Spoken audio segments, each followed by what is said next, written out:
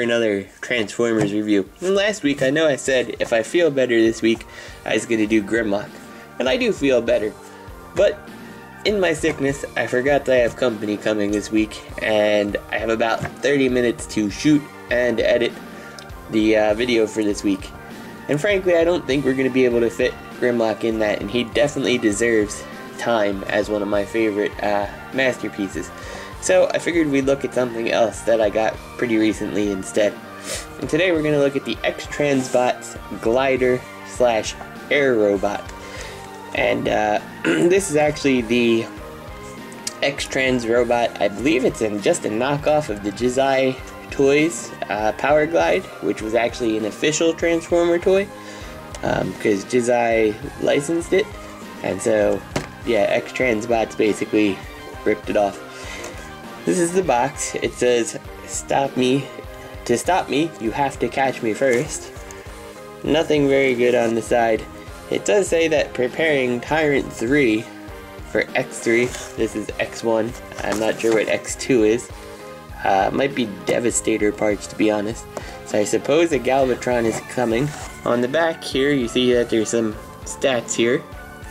Uh, with some broken English in some places, such as weakness saying sometimes be tracked because of his overconfident flying. It's a choking hazard, and it says open, to which you get not a very impressive display, to be completely honest. Um, yeah, so let's open it up and let's take a look inside. Inside the box we had a little baggie, and inside the little baggie is of course the cards that they really love to put, every third party company does that shows actual pictures of uh, from the G1 TV show with Moon Honey and girlfriend. Interesting. You also get the instructions, which are actually not for Power Glide, uh, but for the Wild Child, which I'm not sure who that's supposed to be, who has the key slogan of Violence Keeps Me Alive which I argue is not the case. Most of the time, violence will make you dead. But anyway, these are the worst instructions ever. Uh, they're, they're just not clear at all on what you're supposed to do. So we're just going to disregard these.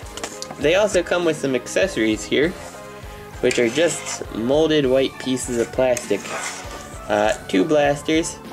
You'll notice the one still has the piece of the sprue on it. And remember that time when Power Glide got in the knife fight? I don't either, but you get a knife with them too, because what figure is not better with a knife? And then there's of course Power Glide himself. Now, I gotta say, I was impressed on the size of this toy. I really thought it was going to be smaller. Um, he does have some landing gear here that is almost impossible to get out through the bottom here. I'll pull it out. And let's just set him here. As you can see, it goes in and retracts really, really, really easily. And the back one's almost useless because he's kind of sitting on his arms. But to show you the size, here is the one that came out with Dark of the Moon. And here's the G1 toy. So, he's a lot bigger than I was expecting him to be. But my enjoyment of him waned a little. It's the color is off. It's too bright of a red, frankly. Uh, the G1 toy is a little more dark, and this is actually the preferable color in my opinion. Your mileage may vary. You can see that they had no scruples about just flat out taking the Autobot logo, which most third-party companies don't do. You'll also notice the other problem is that while this piece here is supposed to slot in, it doesn't really hold very well, making him, you know, kind of, you know, you can see right through him, things don't really hold together, which is kind of a, a, a tick off in my book that he's not quite as good as I would hope for. But overall, he's a fairly faithful rendition of the Power Glide plane. So, there's really not much more to say about this. Um, you can see that things just kind of want to move on me. So let's go ahead and just start working him into his robot mode. And of course you have an exposed face, but what are you gonna do, I suppose, with this Power Glide?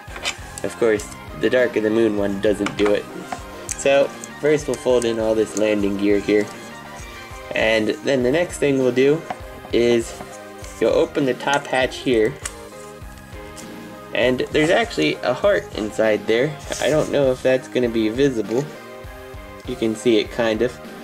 Uh, I believe that is the symbol that it is a Jizai toy. Um, and they just never got rid of it because they just took the design. So anyway, you open this on up and you can split the bottom here and open this. Now it says in the instructions you can store your gun, but there's a little hole in there. I don't know if they're intending it to plug in, but it's far, the post is far too big for that. And this gun won't fit at all. This gun, on the other hand, let's break it off this little screw piece here. And let's see. If we put it in, nope, it doesn't fit either. So the instructions are wrong in that regard. I suppose we could take the knife, we'll break this little piece of the screw off, and we could put the knife in there, and that'll fit in if you really wanted to. But the instructions clearly, clearly on step 5 are showing this gun inside him, and that doesn't work at all. This is why the instructions are horrible. So let's get back to Power Glide, who's looking like a mangled mess right now. Now that we have this split apart, what you're going to do is kind of flip the head side, flip the head sideways like this, sorry about that, didn't mean to have it off camera. Then take your finger, move the bottom cockpit here, which exposes another Autobot symbol, and flip it around, and then push that in. Then you can finish flipping the head close, oops, you have to close up this bottom piece, then close the top. There's a little tab inside preventing you from doing that. So now once you get here, you kind of bring out the side pieces, and you'll see that it's going to form the lower part here as you put them in. You can then flip these arms on up and again, the common complaint is most things here just don't peg in in any way, shape, or form. And that's my hugest complaint about this toy. Then we'll take these little wing assemblies and bring them down like this. And this part here I do find rather interesting. So you take this piece, rotate it on out, and then flip it over. It's on a, a, a swivel there. Then you're going to take this open it on up and bring it on around. And you'll see that we have it like this. And then what you're to do is fold this on in and cap this closed again. And then just keep swiveling his legs so it's on the outside. And you'll see that his legs look pretty nice actually on the bottom. Now if you follow the instructions on what it's telling you to do it took me a while to figure out why mine didn't exactly look right because the instructions need you to do something like that. And I was like, what is going on with this toy?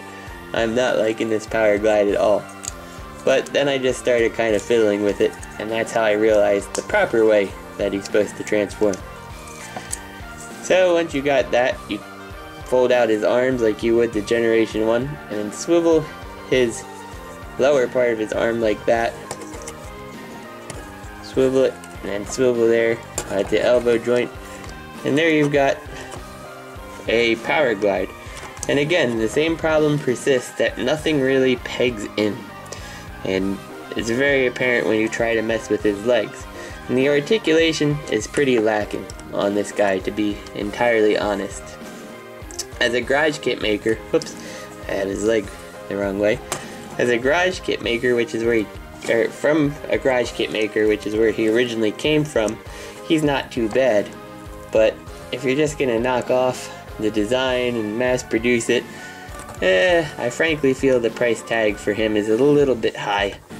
Um, especially for the fact that the colors just don't look right. I don't like the white at all. It really needs to be silver. Uh, articulation, you have a ball joint up here, so you get a full range of motion there, but don't be surprised if you're doing something and it pops right off, because there's some burrs on the ball joint here from where it came off a sprue that weren't sanded down, and this arm tends to pop off a lot. Uh, you do have the ball joint at the elbow, which gives you the forward back and some in and out, which is nice but it's a little bit ruined by the fact that his hand is hollow due to transformation. For the legs, you do have this little like skirt armor basically, which moves forward that much. So with that, that lets you move the leg forward that much. Out to the side, you get about that much. So you're not getting a whole wide variety of poses out of him. And finally, you do have the knee, of course and with the, the foot being on the ball joint you can spin the foot around and go up and down. Unfortunately next to no side to side tilt on it. Oh there we go. There goes the arm again. When he comes to his accessories he can hold them all of course. Uh, there's the one pistol it's cool. I like having some accessories. They'll fit in on a classic shelf. This gun here is the hardest one to fit in. It really doesn't want to fit in very well. And it's because the hole's not, you know, terribly well formed. So you kind of have to put it in at a little bit of an angle and then twist it in position. But he can hold it nonetheless. And might as well show the knife. Unfortunately, he cannot hold the knife the proper way by his hand, which would be underneath, so I don't know. He's only got a strength of 3 and an intelligence of, what's it say? 7? You would think he'd understand how to use a knife with such high intelligence. Oh, he does have a swivel at the knee too, so you can kind of pose his feet a little bit nicer. So since we've got him in his robot mode, we might as well take a look at him with some other incarnations. Again, here's the Dark of the Moon version here, so you can see the size difference, and again the G1. Clearly, this Power Glide has a much more Generation 1 aesthetic going on, as it almost perfectly models the G1 toy, uh, with just a little bit better legs going on. Um, in fact, the arm articulation is almost identical. If this had a ball joint on this lower piece here, you would have pretty well the same arms in terms of what you can do with it. Um, the head actually has exactly the same articulation. Uh, this one's obviously the much better articulated toy. Of course, you have pieces in the way. And he is the much cheaper toy at $6 but it really depends what you want to do with the display. Uh, if you're looking to put him on a classic shelf, he's a pretty good fit. For instance, let's bring his other mini bot companion, uh, Warpath here, and you can see that, yes, Warpath as a deluxe is still bigger, but, you know, Power Glide fits the bill of a classics Power Glide a lot better. Now, like I said, I do have a problem with the colors. Uh, for instance, the face being white as opposed to either a darker gray or a silver, which I prefer. Um, that can really be taken care of in paint though if you so choose. Do I recommend this guy? I don't know. Depends how big of a fan of Power Glide you are and how good of a price you can get him for. Um, I know getting him from KO Toys when they were still around was running around 50 bucks or so, I believe. And that's too much to spend for this guy, frankly. Um, I don't know. I know Robot Kingdom, I saw had him on sale or at least on a pre-order to get him back for 40 uh, I probably would assume you'd have to factor at least $10 to get him in the US. So again, you're looking at 50, and I just feel that's too high because nothing pegs in solidly. Um, he's okay, just not fantastic. If you like your mini bots mini, I'd say go with the Dark of the Moon version. If you're looking for something more like this, then I guess he's worth it. I managed to snag him for about 30 on eBay shipped, so I got lucky. Um, even then, I don't know, some of the little things like just nothing holding together, you just, you know, I was very disappointing in that sense, but I could have paid more for him, I suppose. Um, my opinion could be different if I was a Powerglide fan, but frankly, he's about one of the least favorite mini bots of mine, aside from Wheelie. So, I'm not really sure what to tell you. so, he's okay. He's not perfect. You know what I just noticed? I don't know if Powerglide from the TV show had the silver dot on his head. Did they put the silver dot on his head just to show where the screw would be, perhaps? So to recap, my pros and cons. The pros are, he's bigger than I expected. Uh, he's got some interesting transformation features, but since nothing really pegs together, he's left feeling just not very good. Um, for the price, I don't necessarily like him, especially when you compare him to some of the other third-party releases that are not stealing somebody else's design, that nail characters. Um, I think that this guy is a pass in most cases, unless you are a Powerglide fan, because there's just too many little flaws, like whatever is going on with the plastic here, mismatch of color, the wobbliness, the joints that just pop right off. So, anyway, this is T2RX6, and this was a look at the X-Transbot glider. I hope you guys enjoyed the review, and next week, I promise, Masterpiece Grimlock. See you guys.